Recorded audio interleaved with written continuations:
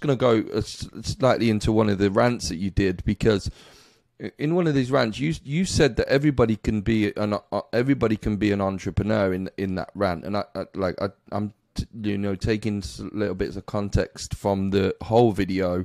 So I'm being a bit of a journalist here.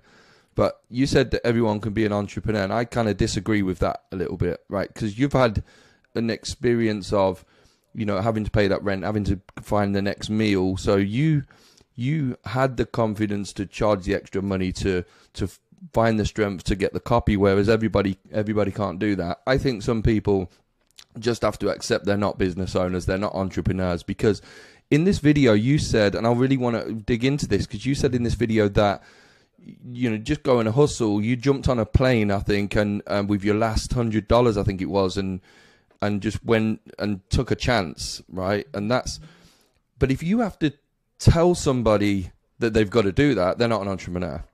Because an entrepreneur just does that. That that's something it's like a prerequisite of being an entrepreneur is that you'll hustle you'll you'll you'll spend your last bit of money to you know to to get the course or the thing that you need to to take you a little bit further. So you have that almost that winning mentality anyway as a business owner who's who's had the struggle. So how does somebody that's not just a freelancer that's not had that experience not had to you know be a wolverine and just pick meat from bones like how how how do they get past it So I actually think uh, that's really that's, I love that because my perspectives have changed. I actually uploaded that video probably within the last few weeks when I started doing YouTube ads now. But that video was recorded when I was I think transitioning from a martial arts school owner to to this copywriting thing.